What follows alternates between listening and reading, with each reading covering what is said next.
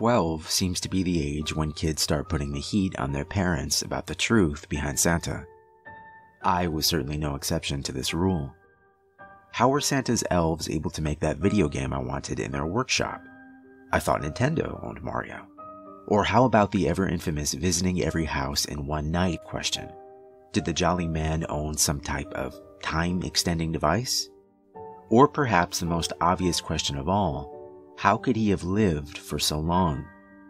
A lot of people say he trains apprentices who take his place every few decades.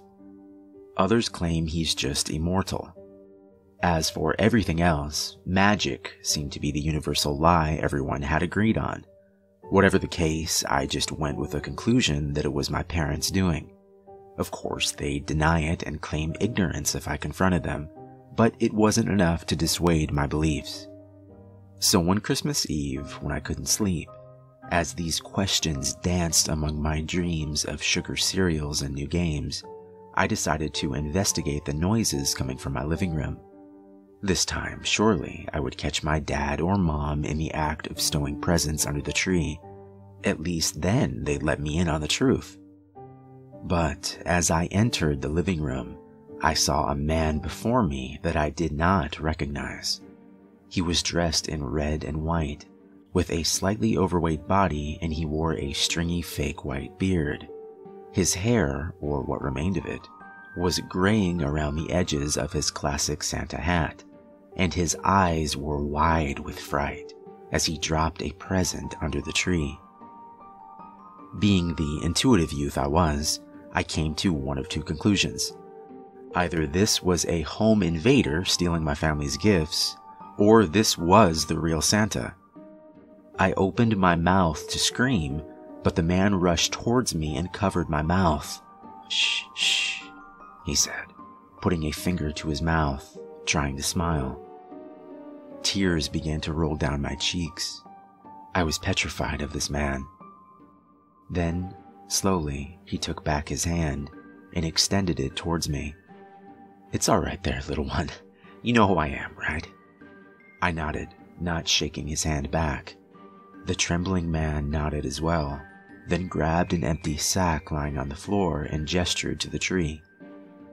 Look, see, I, I bring gifts. Now run along to bed, or I might have to put you on the naughty list. Ho, ho, ho.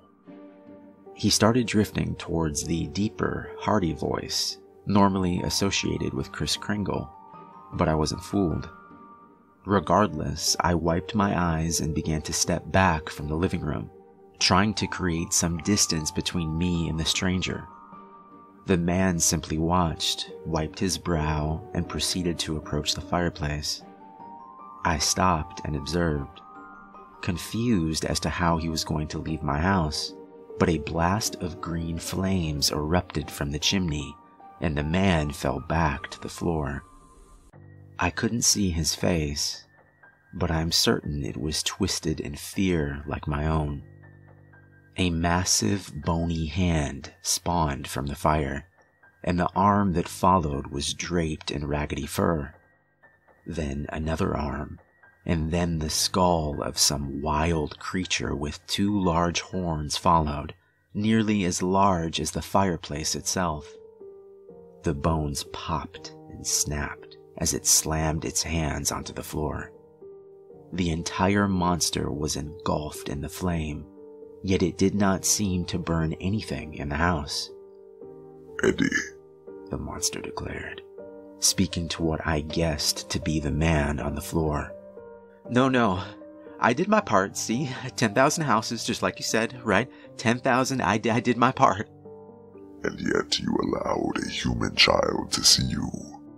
You know the rules. Look, I've learned my lesson. I, am sorry. I, I made a mistake. Just let me go, please. I, I delivered all the. Let you go? Did you let that woman go, Eddie? I don't seem to recall you letting her go. This was your second chance, and you've wasted it. What are you gonna do? Eddie whispered. I could make out his quaking figure being overshadowed by the creature in the fireplace. The next sound to be heard was a crunch, with a soft beginning and snapping finish. I jumped as the sound repeated a few times, finally letting out a shaky breath. I prayed in my head that it wasn't what I thought, but when the creature reared its head towards me, I saw the red and white pants hanging from its mouth as it chewed on Eddie's corpse, then watched it slurp up his legs like strands of spaghetti. I covered my eyes and tried to tell myself it wasn't real, and after a quiet minute, I peeked between my fingers to see the monster staring back at me from the fireplace. The pace of my breathing grew quicker and sharper, my eyes unable to escape from the grasp of those empty eye sockets. Now run off back to bed, little one, or else I might put you on the naughty list. My legs finally found the strength to leave, and I sprinted from my parents' room, diving into the sheets with them. There wasn't a trace of the events of the night before when my family went down to the tree the next morning. There was even a little note next to an empty glass and a half eaten cookie on the table. Have a Merry Christmas. Signed Santa Claus.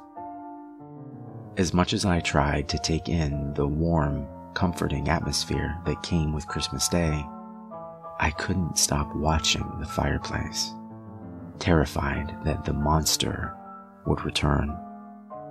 At the least, now I knew the truth about Santa Claus.